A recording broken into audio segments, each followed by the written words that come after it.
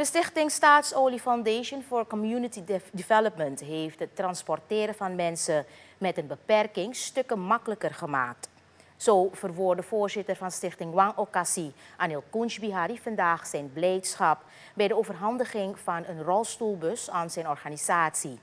Hij verwacht iets minder druk op de schouders van Wang Okasi, omdat nu meer bussen kunnen worden ingezet voor vervoer van behoeftigen. Voor de organisatie betekent het best wel heel veel, omdat um, de bedoeling is om mensen die in een isolement zijn, om uit het isolement te halen. Um, de mensen met een beperking die wij in feite, of die ons achterban is, veelal zijn ze geïsoleerd. Um, ik heb het gezegd eerder, uh, transport brengt een stukje ontwikkeling bij de mens.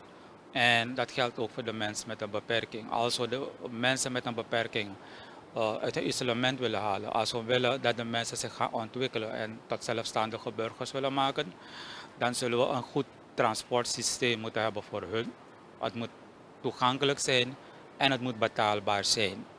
Um, dus met de komst van deze bus kunnen we ja, niet iedereen vervoeren, maar we kunnen wel alvast een paar mensen vervoeren. En um, elke persoon die uit het isolement kan halen, uh, is heel erg belangrijk. Konji Bihari geeft aan dat Wang Okasi nu in totaal over zeven bussen beschikt. De Staatsolie Foundation ziet volgens bestuurslid Lunice Heuvel graag dat mensen die speciale zorg nodig hebben, die ook krijgen. Uh, Wang Okassi, de stichting, heeft een aanvraag ingediend bij de Stichting Staatsolie Foundation for Community Development.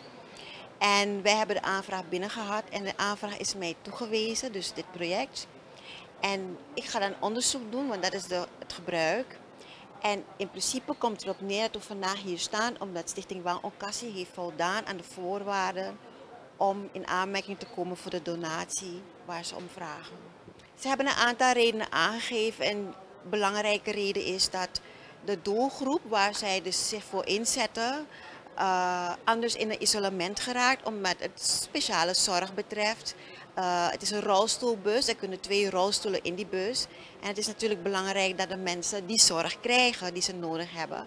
De mensen wonen vaak heel ver, zoals het me is uitgelegd. En uh, die kunnen dus niet naar de hoek van de straat om in een bus te stappen.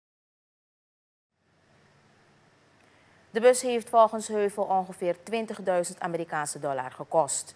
Kunj Bihari stelt dat de organisatie moeite maakt om vier defecte bussen van Wangokasi ook te repareren en in te zetten voor transport van mensen met een beperking.